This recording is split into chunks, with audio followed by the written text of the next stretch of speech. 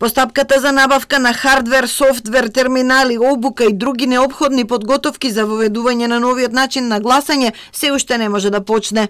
МВР, која единствено располага со базата на отисоци од прст, нема законско овластување да даде вакви податоци на ДИК, која потоа би ги внела во електронските изводи на избирачкиот список. Необходни се измени на изборниот законник на барем два члена, со кои на МВР ќе му биде наложено да ја сподели оваа база на податоци за користење и за обработка Пред Предпладнево ова им го соопштил министерот Оливер Спасовски на членовите на ДИК. Измените на законот треба да ги предложи Министерството за правда, а да ги прифати собранието. Дури потоа велат од ДИК ќе може да почне тендерската процедура. Од владата апелираат да ДИК што поскоро да почне со набавката на потребната опрема и уверуваат дека проверката на гласачите преку фингерпринт ќе внесе дополнителна доверба во изборниот процес.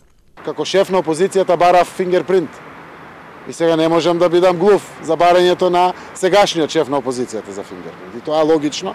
Може да ги зголеми довербите во гласачкиот просек, што е многу важно. Врв на демократијата е гласањето. Само апелирам до ДИК, владените служби стоиме на располагање сите да асистираме брзо да се направи набавка. Денеска имате од вака големи апарати за фингерпринт, имате и мали апарати кои што вршат работата, важно е да бидат технологиите спремни. Опозицијската ВМРО ДПМН исто така инсистира да се почитува законот и гласањето со утисок од прст да се примени веќе на локалните избори на есен. Тоа треба да ги изфрли од употреба спрејот и уве ламбата кои се користеа за да се утврди дека лицето гласало само еднаш.